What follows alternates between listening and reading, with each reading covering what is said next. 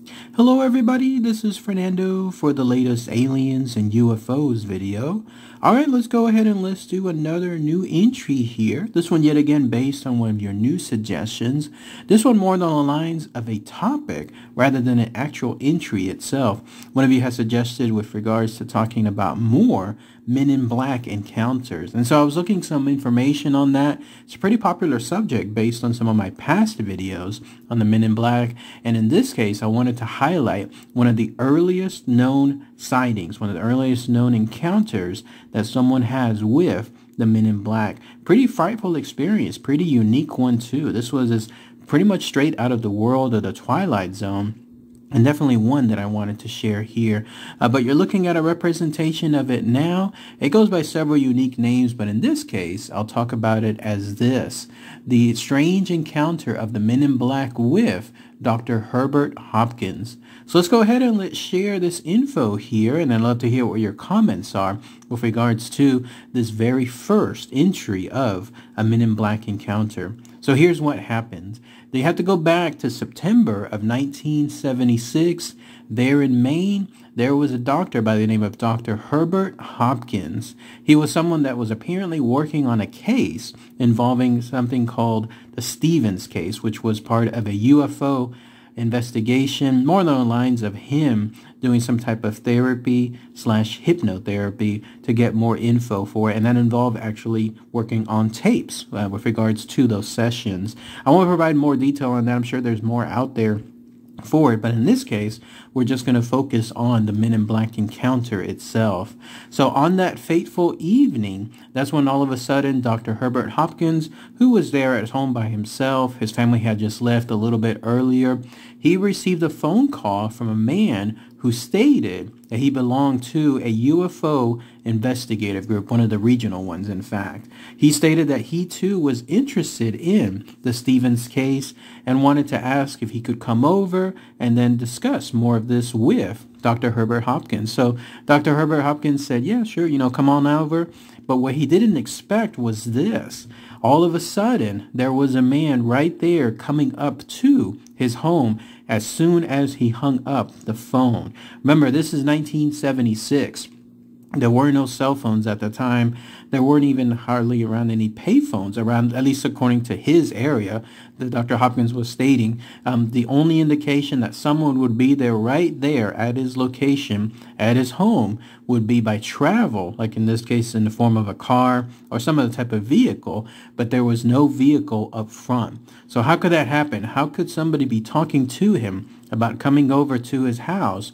And then seconds later, after hanging up, that's when he saw a figure coming directly up to his house. But it was a very, very unique figure. In fact, let's talk about that here. The reason why this is considered one of the first cases, if not the first, of Men in Black encounters is because it pretty much started the telltale signs, the classic signs associated with a man in black. So, in other words, this was a guy, the way he looked like was your standard man, but he appeared to be in a dark or black navy suit. On top of that, he had dark or black gray gloves, and he was wearing a hat once again, uh, dark or black, and then it was a bowler style hat.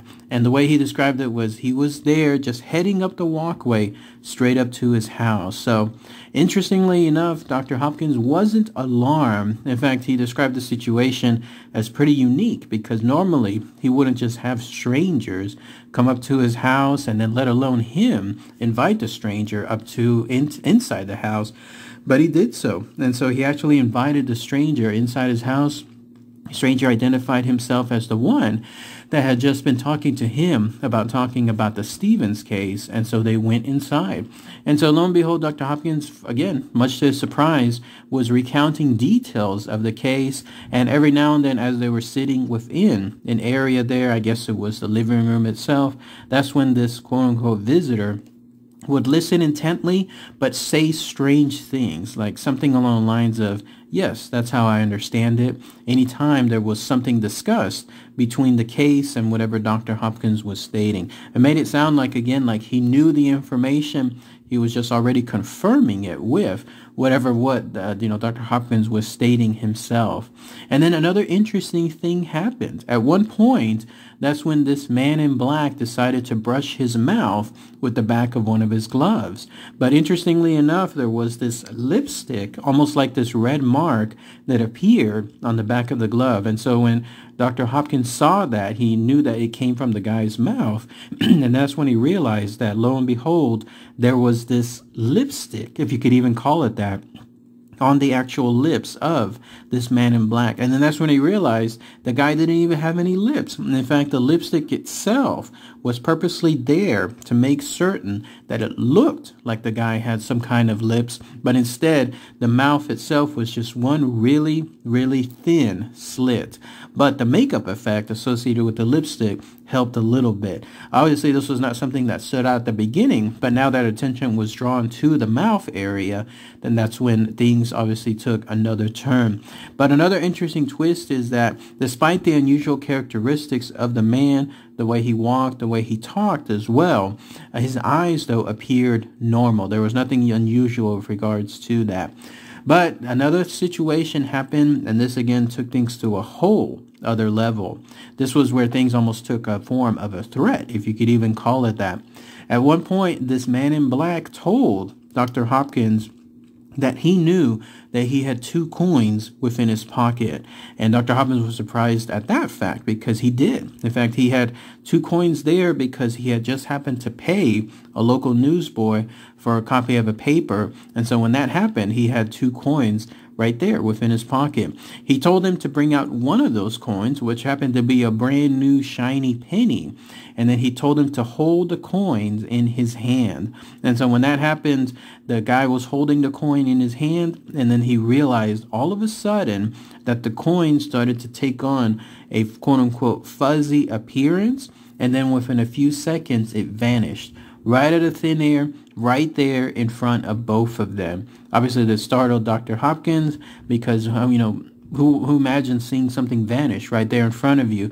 And what the guy said next obviously confirmed that he said, neither you nor anyone else on this plane will ever see that coin again. What a strange cryptic remark, right? When it comes to saying something along those lines.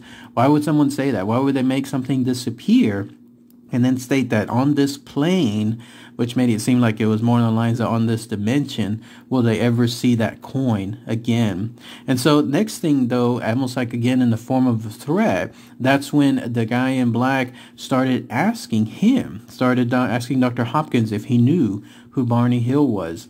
And he happened to state that yes, he knew who he was. He knew uh, his wife Betty as well. They were the ones taking on that infamous UFO abduction from a little bit earlier back in 1961.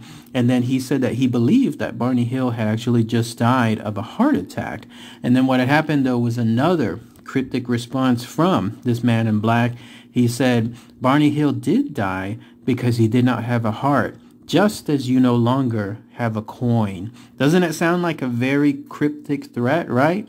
The idea that here you have something where the guy's coin disappeared and then he's stating, almost alluding, that Barney Hill's heart also disappeared just like that. Like they had the power to essentially do that at any moment whatsoever. And he continued with this threat by asking him about those tape recordings again on the Stephens case.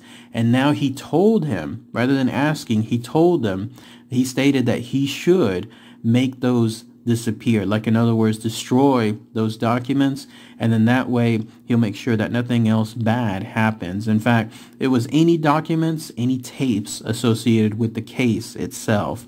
Again, this didn't seem to Dr. Hopkins like it was a violent threat. He didn't have like any indication of, of getting telling this guy you know get out at that point or even uh, lashing out to the guy because of what he was saying. In fact the way he described it was it was not the least bit indignant and not the least bit angry. He just simply said to do it. Like it was almost a direct order rather than anything else involving a straight angry violent manner. And so he grew concerned about this and then that's when the guy indicated that if this was not, that it was more the lines like he would know that this was not be done. In fact, he said this exactly. He said he would know when I had done that, actually gotten rid of the tapes.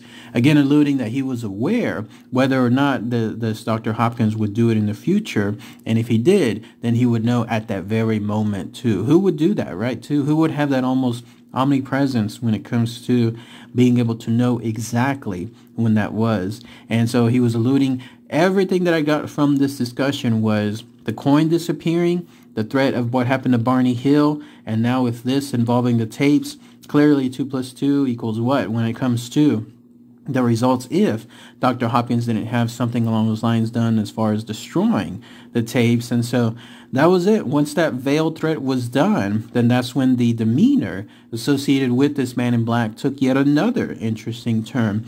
Dr. Hopkins said that the guy's speech began to slow down. The spaces between his words were actually coming up slow and erratic. And he said another cryptic, interesting response. He said, My energy is running low. I must go now. Goodbye. And then that was it. That's when this man in black got up. He decided to go out of the house. This time, though, he was actually clinging onto several things like the railing and the wall itself as he was moving one foot at a time slowly down. It looked like, yeah, something was happening to him and he was not able to um, go with at least the same speed that he was operating before. But instead of going in the direction where he came from at the very beginning, where Dr. Hopkins first saw him walk up to the house, he decided to take a left he decided to go to the area around the corner of the house. And so Dr. Hopkins just watched him do this slowly but surely get to the corner. He finally saw him one last time holding onto the wall just before he slowly went off into the back area behind the corner. And then that was it. He had disappeared. There was no indication that there was a car that had left. There was no indication that there was any other vehicle as well. He had just straight up disappeared, as the way Dr. Hopkins stated, and then he disappeared around the corner. And so he went to inspect that area. There was no cars. There was nothing there. He did see like what he described as a bright bluish white light almost go someplace else. It was kind of hard for me to discern how this read. Like, did he see it go up into the sky? Did he see it go around the corner to another street area? I'm not sure. The only thing that stood out around that corner was there was these tracks. He said it almost looked like it came from a tractor. And so that was the only hint that something was unusual around that spot, but nothing there to indicate where this man in black went, uh, just disappearing out of the blue, no indication what took him elsewhere. He was just gone, gone from the face of the earth right then and there. The only other thing that stood out uh, to Dr. Hopkins was during this encounter, his dog, which was a collie German Shepherd mix, was going crazy, was going a little bananas within the household the moment that this man in black was in there. In fact, he retreated to another room and hid straight up in the closet because he didn't want to be around this man in black. But then that was it. That was the essentially the first known encounter of a man in black, or at least one of the earliest ones, and it happened to this guy, Dr. Herbert Hopkins, right there in the middle of his home shortly after beginning and trying to do an investigation into the Stephens case. Interesting stuff, yeah? This is the kind of stuff that, that, that again, just makes you wonder and scratch your head how this happens, who this person was, what they were doing there where they went off to afterward. No indication. Um, there was apparently some other instances that Dr. Hopkins had with other men in black. And so I may talk about those in the future, but at least in this case, I wanted to highlight the first one. But if anybody has any more info, anything else I might have missed, please post those comments below. Those of you more familiar with this incident, if you have any more comments as well, then I'd love to hear what those are too. All right, everybody. Thanks again as always. Take care. Bye.